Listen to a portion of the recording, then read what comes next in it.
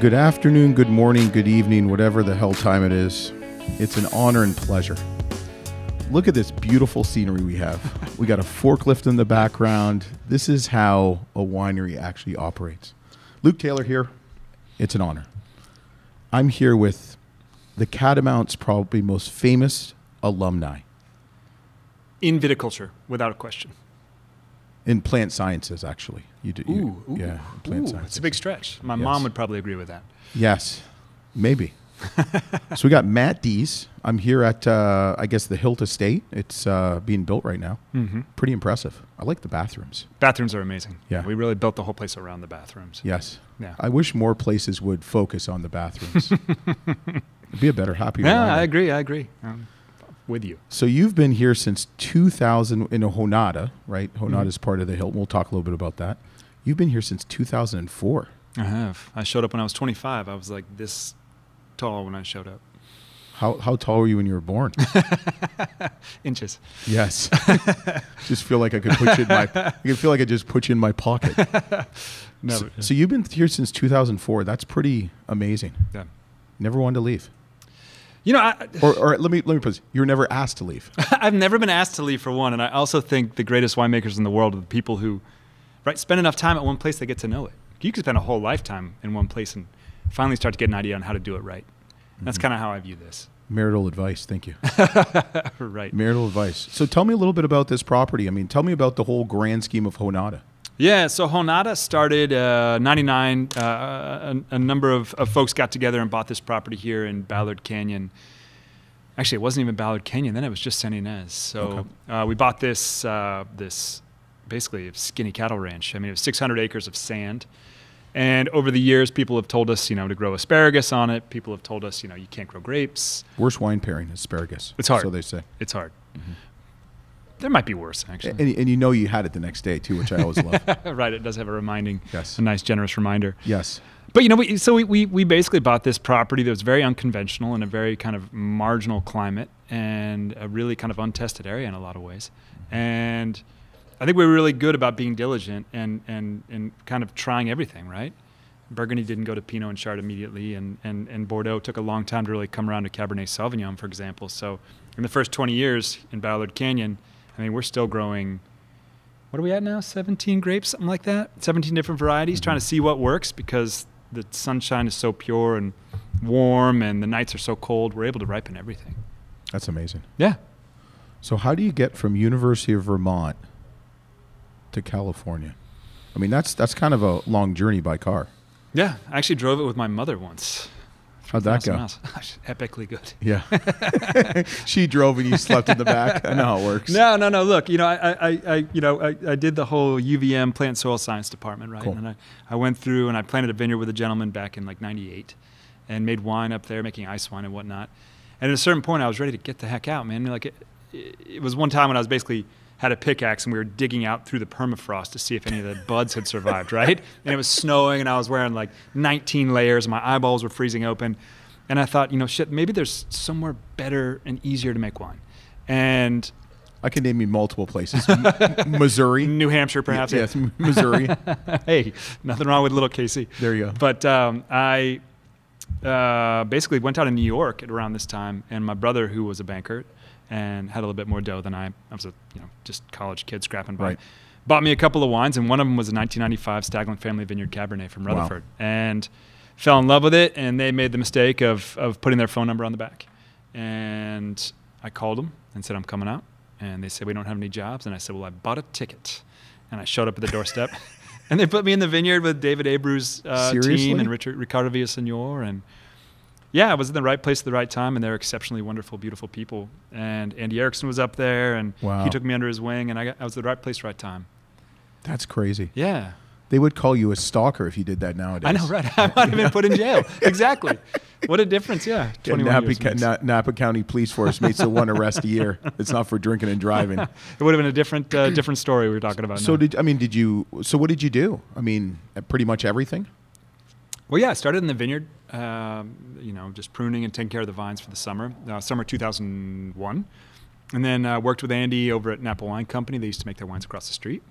And fell in love with the property, the family, the project with Andy. You know, that whole scene um, was just so welcoming and, and so formative to me. They're all really mentors to me. And I've always believed in kind of learning on the job. I love Davis, I love Fresno, I love Cal Poly, but for me, I wanted to find people I really respected in vineyards I really loved and kind of sit at their feet and, and get it figured out that way. Mm-hmm. Um, but so I did the whole deal and I worked the 2002 vintage with him up there, worked 2003. And that same time, I was going down, down to New Zealand every year. So back and forth and back and forth, just following the sun. Did you do the same thing? I bought a ticket.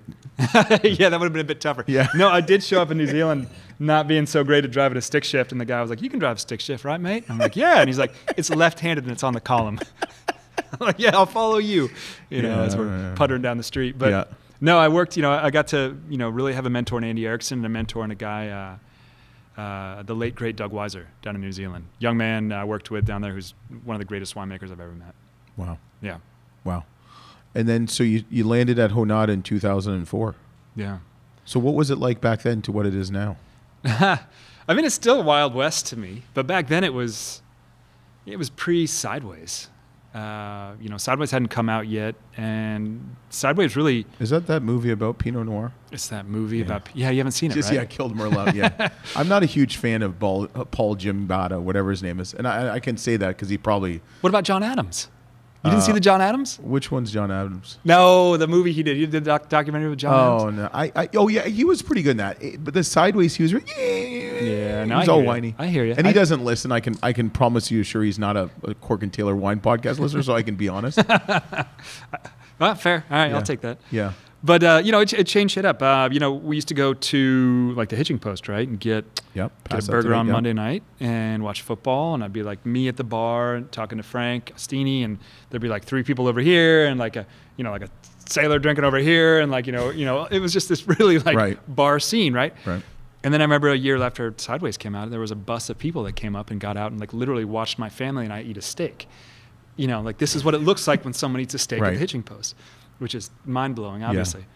Uh, really put a stress on my manners, but you know, I think I think that kind of explains what happened there for, uh, after around 2004, 2005. Mhm. I think people started to really expand their production. I think the Santa Barbara County region, Santa Rita Hills specifically, kind of gained recognition, gained respect uh, around the United States at least. And you know, we saw kind of a couple booms and busts with the economy, where people Mhm. were buying vineyards and developing, and then the economy would kind of check everybody. And we went through a couple of those cycles, but it's a bit it's a bit more refined these days, I would say. I think the wines coming out of Santa Barbara County today compared to 2004, they were exceptional then. Mhm. There's just so much new energy now and so much new creativity, and so many of the, the winemakers are really young or are, are winemakers who are legendary and have done their, their time and paid their dues and are still really young at heart and all about adventure and pushing the envelope and like a like a Bryan Babcock who's growing mm-hmm. Mencía or or Adam Tolmach who's growing these crazy varieties now where that are are, are, are not susceptible to Pierce's disease, or like you know people growing Riesling or people growing Chenin or people pushing the envelope. It's it's awesome. It's Yeah. a, it's really the Wild West. Yeah. Do you think? Are you seeing more of a, an uptick of people traveling down here for wine tastings because of that movie? I mean, when people think of unfor- I mean, unfortunately, they think when they think of California, they think of Napa, and and that's really you know Oh, yeah. all there is in, in California is Napa. Oh yeah. I mean, it kind of is a can. It's like the adult uh, Disney. You know, Disney for adults is Napa to a certain extent, right? I agree. I like my mom's friends will call and say, you know, we're coming out to California wine country. We'd love to see. you." I'm like, well, then rent a car and drive seven hours down south. Yeah, and I'm I'll doing that. The thing is, I'm going the other way. yeah, exactly. But that whole thing cracks me up. It's like, yeah, California wine country. But I think that's changing. Yeah. And Napa does. I mean, Napa. I was saying this earlier today. Like, has never made better wines than they are right now. The wines coming out of Napa right now are so stellar across the board. It's it's mind blowing.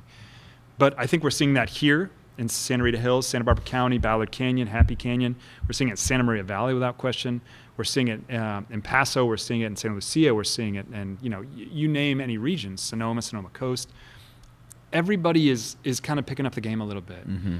and uh, rising tides like we're, we're, we're seeing better and better wines and you know down here is very special to me in the sense that that like i, I made wine in napa Mm-hmm. and napa's incredible but what are you gonna do you're gonna get you're gonna get cavalier and like we're gonna tear out our cab and start growing Riesling and Chenin, right? You're Not not, going gonna do that because too the, the, the yeah the, the Economies of scale. financial Yep, doesn't yeah. yep. So down here, I love that there's no rules, and we've got these incredibly brilliant minds, like uh, these incredible young women, incredible young men, like writing their own rules, Mhm. and it feels like we're the kind of first, second generations, kind of defining what's happening here, like kind of figuring out our footing and kind of figuring out what we can do really well here.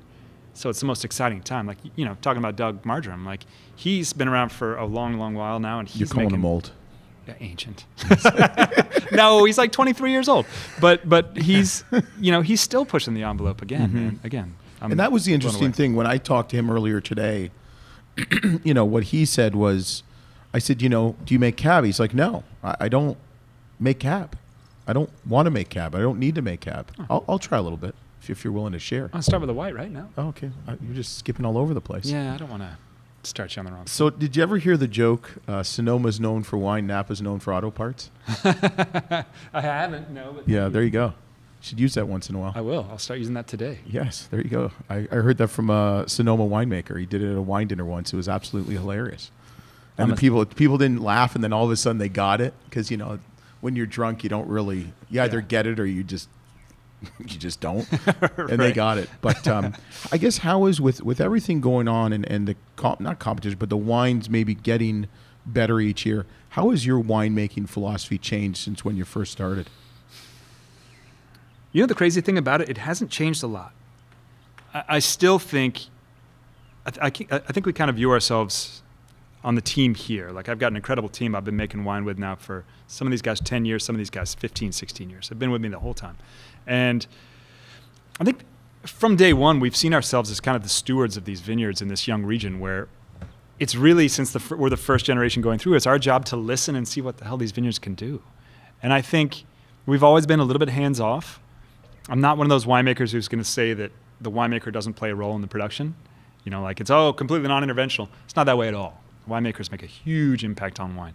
But I think the way we've always approached it is really just trying to be, not to over romanticize it or make ourselves sound like heroes, but like, I don't know, we just listen to the grapes and, you know, try to figure out where the peak ripeness is, try to bring the fruit in, try to understand the tannic structure. And we'll continue to do that year after year after year. But as far as a philosophy from me, oh man, I- I think that I've always viewed it something like this, where we own all our own properties, right? These are all estate vineyards, and that's something we're ferociously proud of, because the one thing we do exceptionally well is we farm these properties that are, are, are my boss kind of gave us the right to, to, to care for, and I think we, we farm all year, right? We plant these vineyard blocks, we farm them for four years, we finally get fruit, we farm the hell out of them. They come in, I make the picking decision. We get a knock on the door at four in the morning during harvest, right? And you open the door, there's like this incredible marble statue. It's like perfect, right? It's almost just this ideal, like a stunningly perfect statue. And I think as winemakers, you have, you could do like, like fine grained sandpaper in one hand, or you have a chisel with a giant hammer in the other, right? And you can either take that chisel and hammer and be like, I don't like the shape of it. I didn't want to make a wine like this. I like drinking wines from such and such a region, so I'm going to try to ch- hammer this square peg through a round hole. Mm-hmm. I'm going to hammer it and make a different, beautiful statue. And I've had wines that, that people with that philosophy kind of, you know, that, that they produce, and I love them. There's incredible wines, incredible examples of, of that. But I've always been completely opposite. We're absolutely really fine grained sandpaper folks here. And so if there's an imperfection, if we can make the wine better, if we can take a rough spot out, we'll sand it down. But I'll never take a hammer and chisel and like try to restructure this thing, try to reshape it. And that has never changed. Mm-hmm. I'm also really spoiled to work with vineyards that are just world class. Like, you know, between the Hilt and Jonata, I'm lucky. Really lucky. I'm gonna go search for some hammers around here. Start looking now. Dog toys, forklifts, a couple presses. You got a you got a uh, dartboard in the bathroom. indeed, I, I thought that was awesome. Oh, You yeah, know, yeah, yeah. We should drink heavily and play darts. I love it. Yeah, that'd be fun. I'll start right now. That would be fun. So what are what are so you said the wine? I mean, did you look at your life now? You, did you grow up in Vermont? Kansas City. Kansas City. Yeah, baby. All right. Yeah. All right. I got a question for you. Bryant's or Gate or uh, Gates. Gates? I know. Um, you know, I like the ribs at Gates. I like the beef sandwich at Bryant's, and I like the fries at Wyandotte Two Barbecue. I also think LC's is exceptional. Um, I grew up, man. I. It's so great to hear that question. Where, where did what part of Kansas City did you grow up? I grew up uh, Prairie Village. Yep. I like well. on state line ish. Prairie Village. That's Kansas. Not I, Missouri. no, I grew up on state line on the Kansas Oh, Kansas did side. you? Okay. KC, yeah, Yeah, Kansas okay. City.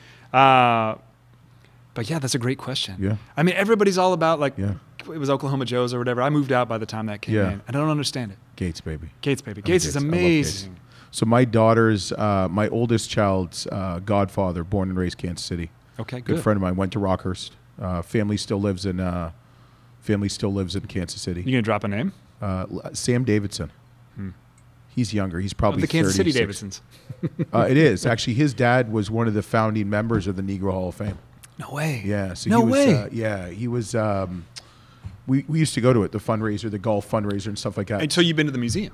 yeah, It's I've been to, yeah. It's awesome. It's a really cool part of town too. yeah. Yeah, I know kids. We almost moved there. We we uh, my wife and I, but when we had our daughter, we were looking to get out of Akron, Ohio. Shocker. Shocker. Uh, not from there. It's a great Akron's place. a lovely town. It is. It is. It's lovely. town. Yes. Lovely this time of year. Okay, that's kind of a slap in the face, but okay. I'm Uh, from Kansas City, man. I'm Come from on. Canada. you know, I said something to my wife. She's like, "You're from Canada. It's worse up there." I'm like, "Yeah, "You're right. You're right. You're right." Hey, mom, how is it? Oh, it's gorgeous. It's minus fifty, but the sun's out. Oh, it's stunning. Yeah, it Pure is. sunlight. It is. Yeah, yeah. But I love Kansas City. I love and and I, and I was you know cheering for the Chiefs. Oh, we don't want to talk about that. It's a fun. I've just recovered up from that Yeah, deal. and You the know- Royals. Yeah, and the Royals, hey, yeah, yeah, we got a yeah. 15 championship. Yeah. yeah, we got a World Series.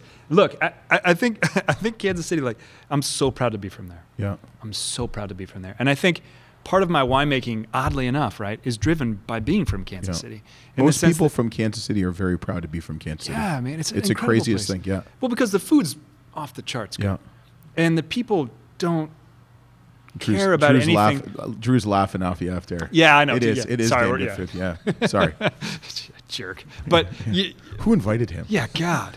But the the whole thing to me is like there's there's no there's no pomp and circumstance. It's just really good food. Yeah. People want really good food. Yeah. Not and they many want chains. really good beer, like Boulevard beer. Like Oh. that was that was and Yeah. probably still is. But shit, that was a Seventh was a tank. What's the oh, one? Oh, now? Tank Seven, all that stuff. Seven, but even yeah, when yeah. all they had was the bully porter and Yeah. the wheat and the pale ale, I've been to Boulevard just- Brewery. yeah. it's a great Yeah. place. But everything is, is based on just quality, and there's not Yeah. a lot of fluff. It's just like this shit's good, and we like good wine and like good food, and yeah, shit. I'm really proud to be from there. Yeah, uh, one of my uh, buddies, uh, Sam's really good friend, uh, owns Kelly's. Yeah, that's that's his father. He runs it now. I've been there, Good man. Kelly. Yeah, you see Oh. that? Isn't that great? Man, Drew's getting. I didn't know I was going to wake up and I didn't know I was going to wake up, end up talking about KC. Yeah. This makes we, me so we happy. Go, we go all over the place going. here. We go all over the place. So what do we? Let's talk a little bit about the wine. Um, so we're drinking the Hilt Chardonnay. Yes. Why? Why the Hilt? Why is it the Hilt? Is it like from The Shining or? Yeah, we're, we're from the Shining. It's Good kind of a scary name. the Hilt. Yeah, yeah. We thought we'd name it after just the most horrifying Hilda, you movie know. ever. No, look, Hilt refers to the fact that we farm exceptionally well, right? That, that we farm to the hilt, we farm to the ninth, the ninth degree. That that basically everything we do is driven by our farming perspective and focus on quality.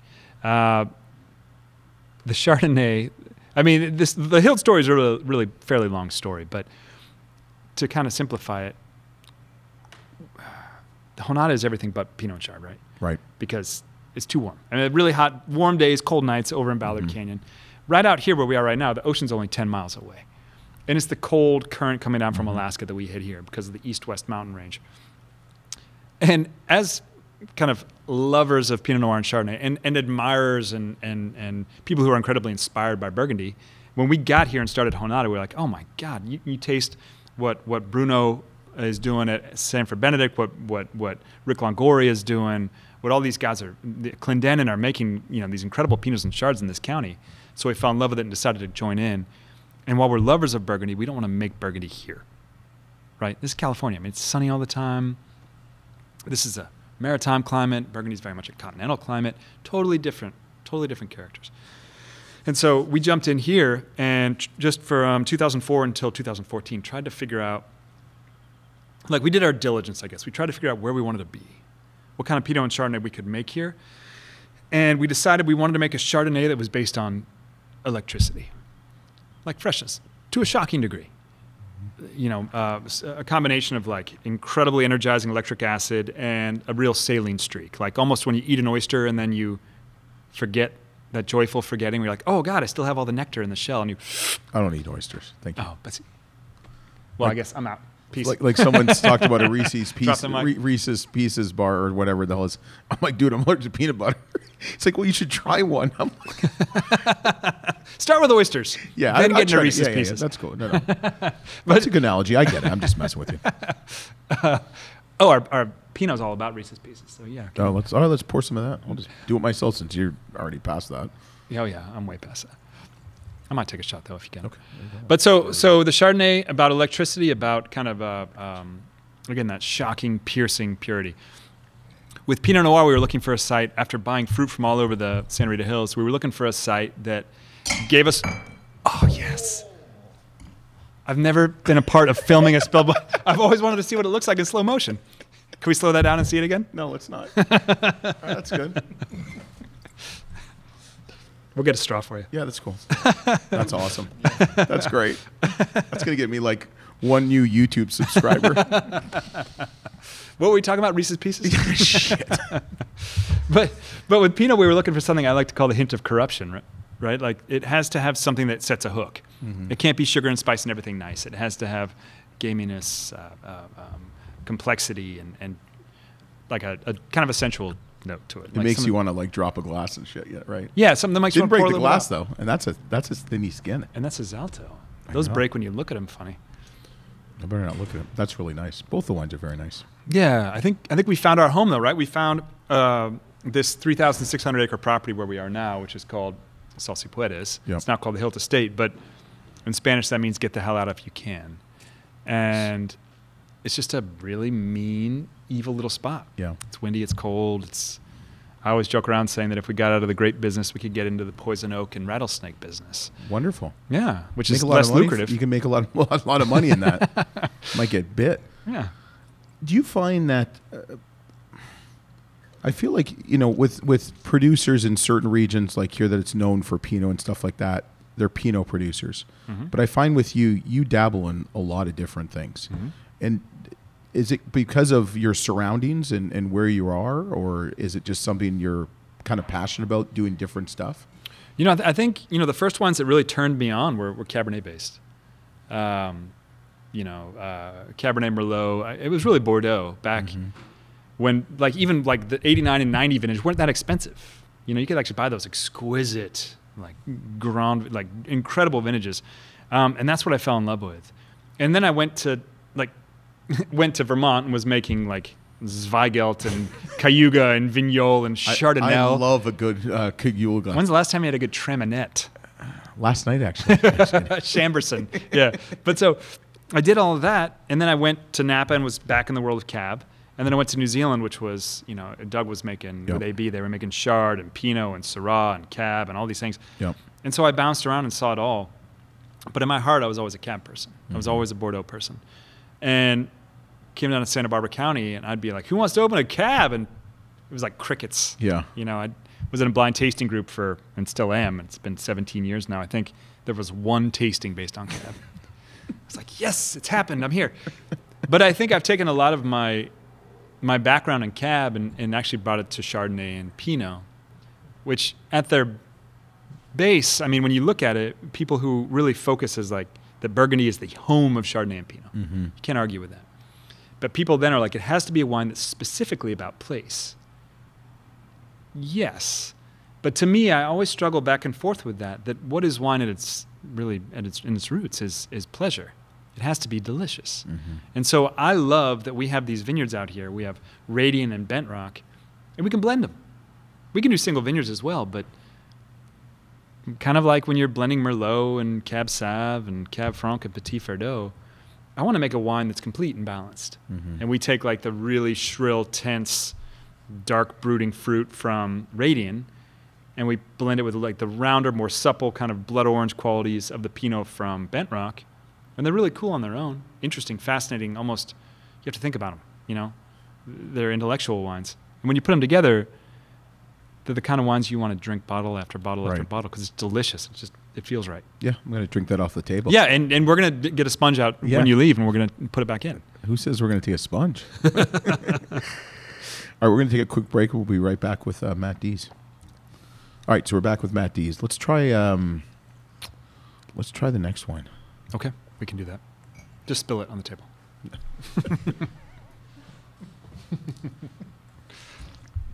Smart ass. I have a feeling I'm never going to live this shit down.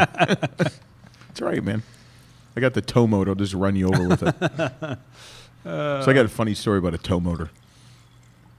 So I started this wine distribution about 11 years ago. Don't know what the hell I was doing. So this guy delivers a pallet of wine to me. It's first ever pallet I get. I'm all excited. You know, this guy, truck driver comes and stuff like that. And he says, uh, so what are you going to take it off with?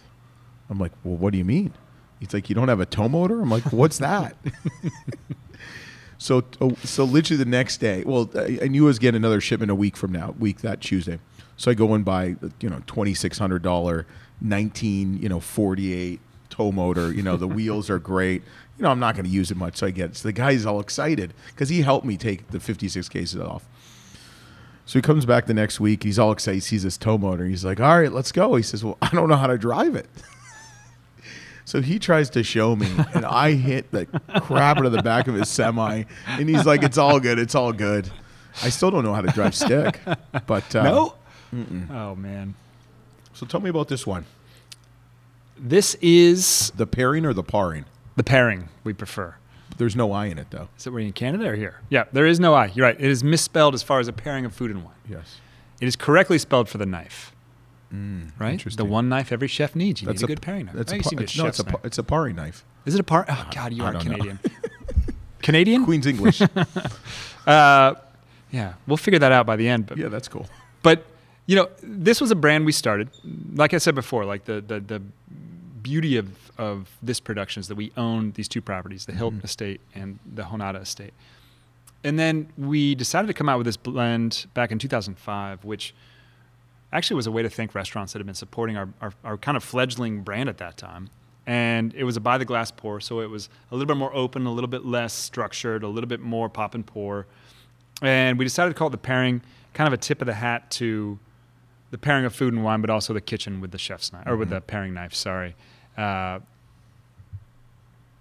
and it, it kind of grew, and you know, it, it, it's changed a little bit, but it's always kind of represented the best of California cab to me, where you get a lot of, of Southern California kind of. Um, uh, they're actually really structured wines here off our property, off our estate, and they're very fresh. There's really actually a very high acid, and then we bring in some fruit or some wine from Northern California, couple of vineyards up there that are really kind of based on that broad, generous, kind of wonderful sweet fruit. Cool. Yeah, it's a ripping wine. I love it. I think it always over delivers. You can age it. Like the 05 finally opened up like a year ago, you know, and it was a Mhm. $25 bottle. Uh, anyways, it's drinking well today. I, I'm, I'm really proud of that wine. Yeah. Look better on the table, but it's better in my glass, I guess. It looked better on the table than the Pinot, to be fair. yeah, be darker. So, uh, you know, some of your wines you have like two, like the uh, what's it, longest La Sangre. Mm-hmm, mm-hmm, Um, you use two percent Viognier. mm-hmm. Is that something you picked up from New Zealand, or is that just something? Yeah, I mean, we picked that up from like Roti, and you know, the the reason they do it is very different than the reason we do it, and I, it's really funny. I actually like using Viognier because I like the stems, and it's not like we blend it back; it's co-fermented, right? Okay. So it's not like, it's not like we we take a white barrel and Right, put right, a couple right, drops in, like five gallons in. We we use the grapes actually, the whole cluster from Viognier because the stems are incredibly green, like green peppercorn. They're really lovely and aromatic and floral. Mm-hmm. And I've been known to actually take the grapes off the stems of the Viognier and just throw the, the stems in because Viognier stems are worth their weight in gold. I love them. Um, but you know, I think one thing that highlights for us is that we're really not dogmatic in anything, and and we change from year to year, and we respect the fact that we're a young region and, and, and fairly young producer. Mm-hmm. Um, so we we've been known to to be open to changing our minds on things really rapidly. And the Sangre, as far as the two percent Viognier, changes from year to year. And some years, if the stems are great, we'll do it. If other years are terrible, we won't touch Viognier. Um, but it makes a difference. It lifts it. It it takes a wine that can otherwise be very brooding and kind of dark and dense, and, and makes it a little more fresh. I'd say Mhm. a little more floral. Mm-hmm. Nice. Yeah. Then, how do you guys come up with the names for like Todos and Blood's Devil and Devil's Blood and Pig's Head and all this stuff? The different different wines Yeah. Pig's Head. Pig's Head was hard to come up with. Yeah. Um, You know, it's actually really funny. So we we spent a really long time back in the like primeval days, like back in 2004, five, and six, beating our head against a wall with what the hell to call this brand. Mm-hmm. Um, because the story isn't really about anybody. The story is really about the place. Um, it's I, I mean, having named two children with my wife, it's You, far you- you easier didn't to name name. them. You just agreed. Let's be I, honest. uh, yeah, you're right. But I agreed. Yeah, Um, ten percent of the battle. hundred percent of the, the correctness, ten percent of the battle. I'll give you that. I'll give 15. What are your kids' names? Harper and August. Okay, that's good. I did okay, right? Yeah. I okayed two relatively Yeah. good names. It's better than like uh, my um, mother-in-law. My wife's whole family's in medicine, and, and my mother-in-law comes home one year. This is probably not HIPAA laws. I'm, I'm sure it was out. And her, the girl, this woman named their daughter La. So the letter L with a dash. It was Ladasha. Oh, that's great. Yeah, isn't that great? Wait, L dash A? L dash. A? I think it was L A dash Ladasha. oh. And maybe that's there's awesome. an A on it. Yeah, I Ladasha Taylor. It'd be a pretty name. I said pretty. That's a Yeah, beautiful name. It is. Michael Harper over that. It's close. Yeah, It's close. yeah. Harper August Ladasha. That's pretty awesome. Yeah, I know. It'd be great. But but like you could name you can name a you could name a child and like they kind of grow into it and it makes sense and it feels great and you're like we did it right. Wine's harder to name. And Yeah. it's, it, uh, Isn't that funny though? it's just, it makes no sense. Well, because I think when you when you name a child, we didn't name our daughter for a couple days because we are kind of thinking, and then we named her Lily, and it just sits. With a wine, It's a great name. you don't you don't it doesn't. I mean, there's really not a personality or, or a, a living being Mhm. to it. Um, so how do you you know how do you name it and stuff like that? So You know, to, to be candid, we, we hired a firm back in the again the primeval days, like back Mhm. in the, the old days, and they came down. This gentleman came down, and basically charged us a fair amount of money, and presented us with a couple of sheets. I still have them upstairs, and I remember he came into his for his presentation. We were sitting there, and the first thing he said, it was like a bad joke. He said, "How do you feel about Greek mythology?" like I feel fairly dubious of Greek mythology, Yeah. to be fair. He's like, Well, how do you feel about equestrian names? I was like, Do I look like I ride horses? and how do you feel about like just awful, Yeah. awful, awful Yeah. names? And so we basically, Zeus. we ba- yeah, Zeus, the That's beard not a of bad Zeus, name. the beard of Zeus. Yeah, the but we basically picked him up and threw him out the door, and we sat down and had kind of a come to Jesus moment where it was like, we got to figure out a name. What are we missing? It's right in front of us. We need to figure this out. And we looked at an old map, and the land grant was called back from 1842. It was sold to two Mexican brothers, and it was called uh, Rancho San Carlos de Jonata. And so we're like, oh shit, there it is, Jonata. And because the story really is about that special parcel Mhm. of land. The names, as far as using Spanish names, I mean, this is New Spain, right? Right. Historically, Santa Barbara, just all of Canada, or California, Southern Right. California especially. Um, and the names just stuck. I mean, Mhm. Cabernet Franc, with all of its soulfulness, is El Alma, the soul, right? El Desafío, the Cabernet Sauvignon, is the defiance. It's kind of our thank you to everybody who told us to grow asparagus instead of grapes, you know? And La Sangre, the blood, it, it makes sense for Syrah. It's this sanguine, kind of yeah, ferrous, very earthy, bloody wine. Does the owner grow asparagus anywhere in all we do grow asparagus. Yes. Really? Yeah, we grow great asparagus. Just to kind of Okay, thumb our nose at all Yeah, our that's friends cool. over across the pond. there you go. It's true. It's good. Really? I should have brought some to serve it to you. Yes. No, we'd raise chickens and turkeys and sheep and goat and hogs and uh, Asparagus. asparagus. We raise Yes. asparagus lovingly. Nice. Nice. Yeah. Oh yeah. Yeah. What's your favorite uh, thing you grow here, other than grapes? Ooh. Other than grapes, I love sheep milk. I love sheep milk cheese. We make sheep milk ricotta. We have a herd of about probably 40 uh, sheep and lamb right now, and about 120 goat and cabrito. Wow. Um, I love cabrito as well. I Do love you eating. name them? You name, name anything like the uh, my my wife named we we raise hogs and she named two of the hogs um, after her mother and her aunt. Porky. It's the last like last time she named what, any animals. what did she name? What were their names? it was Loie and Louise, and she named them after her aunt and mother. And we, I remember at the harvest party one year, it was like, "What happened to Loie and Louise?" yeah, you're eating them. yeah, it was an awful moment. so we don't name we don't name the hogs anymore. But the goat and sheep herd, you know, they're really it's basically lawn mowing and fire protection. Yeah. You know, because they will eat their way through the entire ranch. mm-hmm. Um, and so they actually belong to the team. They don't, you know, every every team member, every vineyard man, uh, vineyard team member, and winery team member owns a huge portion of them. Really? Yeah, and you can harvest for your family, whatever you want to do. Really? Yeah. So, what kind of lifespan do they have before you harvest them for your family, per se? Oh man, this is some dark stuff. Well, no, it's, it's a good question. I mean, I know it's 2021, and we'll probably have uh, No, no, animal no. rights listening to Well, it. no, I no, no. I mean, I, I think look when we, we we started to diversify and, and and really focus on on environmental sustainability, right? Farming sustainably, and at the same time, we introduced this process of of bringing animals back into the farm product or back into the farm system, and part of that was let's look at actually social responsibility, right? Mm-hmm. We work with the team, like all our team members here have been with, most of them have been here for 10, 15 years. And we took ownership of it and we gave them ownership of it, where it was mm-hmm.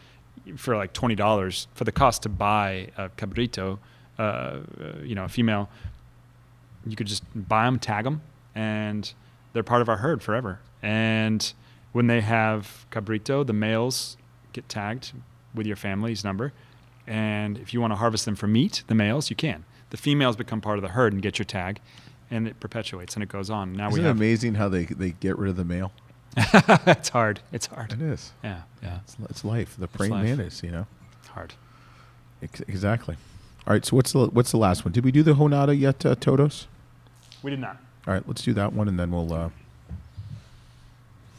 we'll talk more Kansas City barbecue. Oh God. God, can you imagine barbecue with us? Uh, I can actually. I've always said if I could get my wine on the list at Gates Barbecue, like if you walked in and it was like you can get Boulevard Pale Ale, Yep.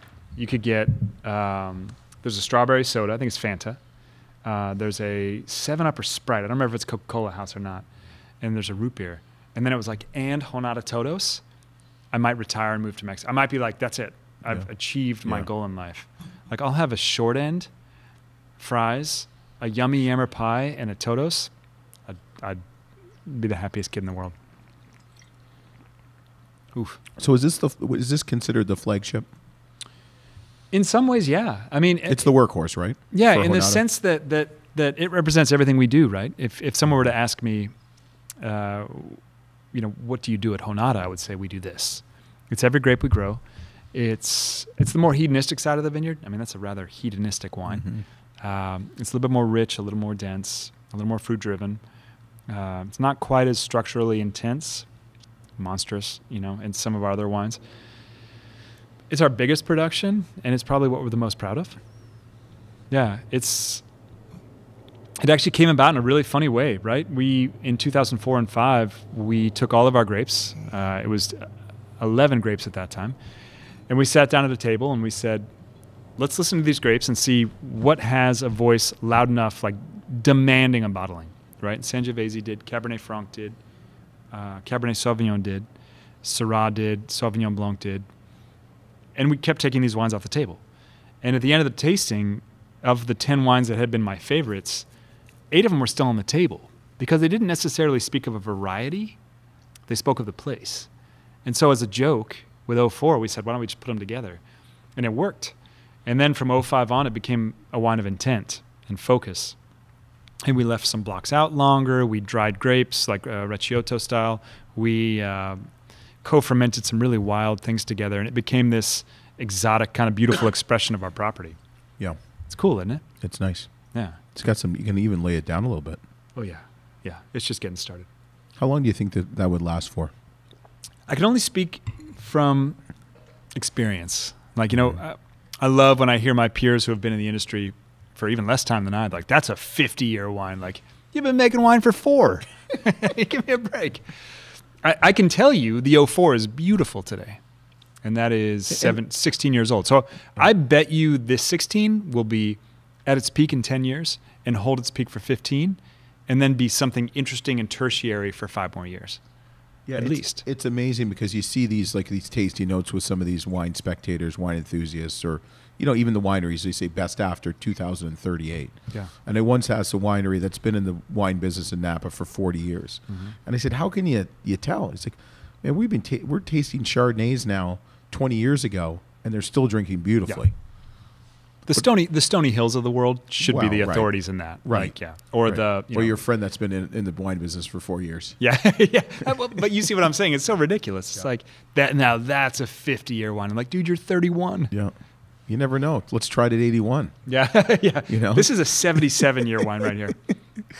Oh, God, the next time the Royals win the World Series. You never know. Might be uh, 50 years. Um, but uh, Matt, I want to thank you so much. We're going to do a little, uh, stick with us. We're going to do a little uh, bonus content with uh, Matt Dees. Appreciate you uh, having me, and uh, I apologize for um, spilling the wine on the table. Well, you'll live it down someday. I will. Or When, when the Browns win the Super Bowl. yeah, they're getting there. They're getting there. They're getting there.